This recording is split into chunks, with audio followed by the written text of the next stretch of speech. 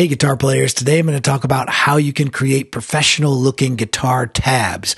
A question I've been asked a lot over the years by other guitar teachers as well as students is how I create the tabs that I pass out at my workshops and also use in my online videos on screen. For a long time, I've been using this software called TablEdit or Tablature Editor. Um, you can check it out at tabledit.com. But for me, this is the perfect tool to create the tabs that I want to create and I can do it pretty quickly and efficiently.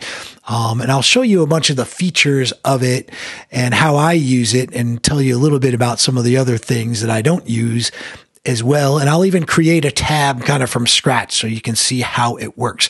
Now you can download a free version of it, a free demo version that I believe is fully featured, except for you can only save 16 measures. So you can test it out and see if it's something that will work for your purposes. But let's dive in. So here it is on my computer. This is a tune that I've been working on for uh, workshop that I'm about to teach. And uh, so it's pretty much finished. And basically, I can I can zoom out or I can zoom in depending on if I want to get up close and work on, you know, one measure at a time or something. I can edit these notes. I can delete notes or change notes. Um, I can play this. So I can go here and hit this green play button and listen to what it sounds like. And I use this to test it, you know, to see if there's any clunkers, any bad notes that I put in there. So that's very useful. And then I can go and uh, now there are a lot of options. There's a lot of different things that this software can do. So for instance, if I go to this preferences here, I can actually add notation. So now it'll have musical notation and guitar tablature. Personally, I don't like having notation and guitar tablature um, on the same score. Like I would prefer to have either just tab or just music. And I find most of my students prefer just tab. So I just do tab. Uh, but I just want to show you that you can also add that musical notation. There's a lot of options for printing it. So this is the print preview. I've put in a title for the song, um, and stuff. And you can see this is how it would actually print out. And I can click this little box here with the arrow, that will create a PDF of exactly what we're seeing here. Now, I would, would probably make some adjustments, maybe so there's four lines on a page and stuff. You can adjust all of those things um, in terms of how it visually looks or how many, you know, measures are per line, all that stuff. So basically that's, you know, what it looks like and how it functions. I'll show you how to create a tab from scratch. I'll just go and create a new tab.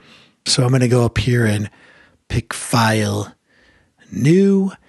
This is going to be guitar and standard tuning two measures. I was going to keep it nice and, and short for this demo. Uh, we're in the key of G. That won't really matter because I'm doing tab. But if you were doing notation, you would want to make sure you got the right key and then four, four time as well. So let's hit OK. And it gives me my two measures my epic opus uh, tab here. and I'm going to go up and hit view palette and I'm going to use this palette to indicate what type of note I'm going to enter. So let's say I'll start off with some quarter notes. I'm just going to lay down a bass pattern, a thumb pattern. Um, so we're going to do a third, that's third fret six string. I just press three on my keyboard. And then I'm going to press the zero for open fourth string. And I'm going to click here, do another three for third fret another open. So that's a G chord. Now I'm going to change to a C chord for the second measure. Still all quarter notes. So then I would probably test those bass notes, come back here and hit play. Make sure it sounds like how I think it sounds, it's supposed to sound.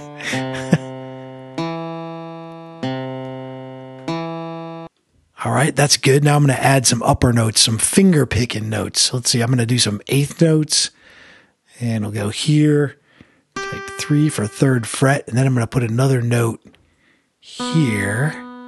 Whoops. Okay, that wasn't spaced quite right. Little, There we go. That's an eighth note. And we'll do that again here. And then that one will just be a pinch. Actually, that's going to be a quarter note. So I'll change that to a quarter note. And then for the C chord, we're going to need some different upper notes. So we'll hit the open. This is going to be an eighth note, open E to the first fret, second string. Now repeat that.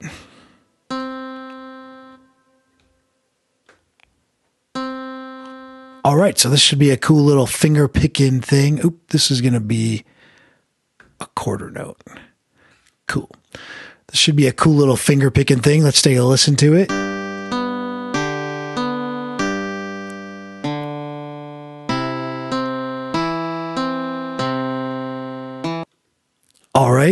Nothing ingenious, but you see how it works.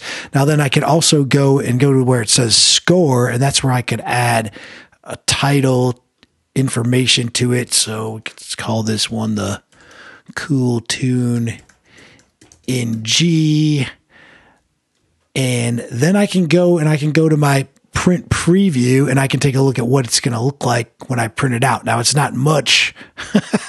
it's not much because it's only two measures there, but that's the whole page, you know, and I could kind of adjust it and stuff. And I kind of do that on a per song basis because um, it, it sort of varies from song to song, how many measures you have and how you want to fit it on the pages and whatnot. But that's basically how it works. That is, once again, like I said, the TablEdit software that I think is just fantastic. Um, I think as of right now, it's uh, costs like sixty bucks. I think to buy it, which I think is a great deal. It's not a subscription; it's just a one-time uh, cost, and I, I think they do a great job with uh, you know keeping the software current and uh, making sure it works well. So check it out. You can download the free uh, demo if you want to check it out. They also have a thing called TEF Viewer, which allows you just to listen to uh, play the files, which can be kind of cool too, because you can slow things down and stuff.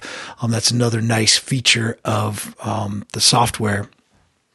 Plus, there's a community of players who have put up free tabs in this format too that you can download.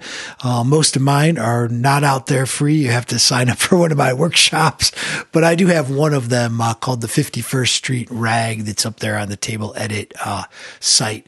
So check it out. Thanks again for watching this video. I hope you found this useful. Be sure to uh, leave me a comment. Be sure to subscribe if you want to get more content like this. I do appreciate it. I'll see you next time.